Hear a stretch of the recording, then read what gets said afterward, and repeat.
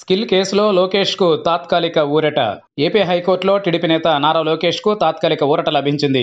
AP skill development స్కామ్తో పాటు AP fibre net scam Amaravati inner ring road alignment కేసుల్లో CID arrest ముప్పు ఎదుర్కొంటున్న లోకేష్ హైకోర్టును ఆశ్రయించారు. తనకు ఈ మూడు కేసుల్లో ముందస్తు బెయిల్ కోరుతూ లోకేష్ పిటిషన్లు దాఖలు చేశారు. అయితే అమరావతి ఇన్నర్ రింగ్ రోడ్ కేసులో ముందస్తు బెయిల్ నిరాకరించిన హైకోర్టు సిఐడి విచారణకు సహకరించాలని సూచించింది. అయితే స్కిల్ కేసులో మాత్రం ఆయనకు ఊరటనిచ్చింది. ఏపీ స్కిల్ డెవలప్మెంట్ స్కామ్లో నారా లోకేష్ పేరును చేరుస్తూ సిఐడి తాజాగా నిర్ణయం తీసుకుంది. ఈ కేసులో చంద్రబాబు అరెస్టు తర్వాత లోకేష్ను కూడా అరెస్టు చేయాలని భావిస్తోంది. ఈ తరుణంలో ఢిల్లీలో ఉన్న లోకేష్ హైకోర్టులో ముందస్తు బెయిల్ కోరుతూ పిటిషన్ దాఖలు చేశారు. దీనిపై అత్యవసర విచారణ జరపాలని హైకోర్టును కోరారు.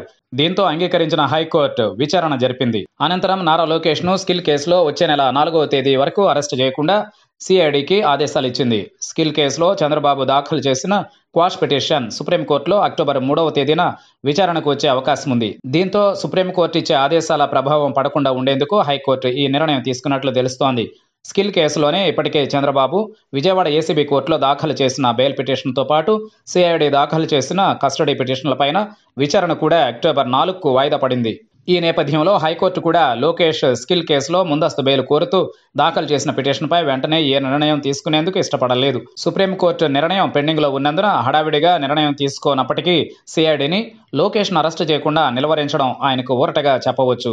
అయితే ఫైబర్ నెట్ కేసులో మాత్రం లోకేష్ ముందస్తు బెయిల్పై విచారణను వచ్చే నెల నాలుగుకు వాయిదా వేసింది.